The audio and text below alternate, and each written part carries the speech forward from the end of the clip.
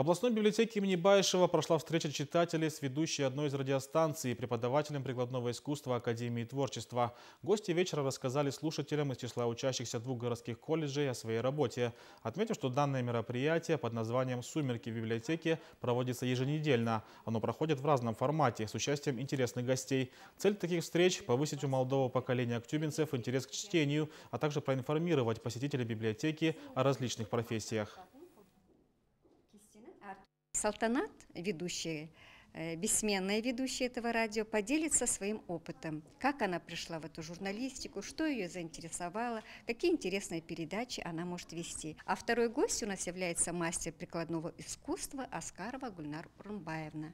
Она принимает очень активное участие во всех конкурсах по прикладному творчеству. Она занимается войлочной деятельностью. Сегодня она проведет у нас мастер-класс, ознакомит, как работать с войлоком. Там тоже есть свои навыки, умения, хитрости, какую надо придерживать температуру, чтобы э, получился хороший войлок, какие краски применять, какие материалы.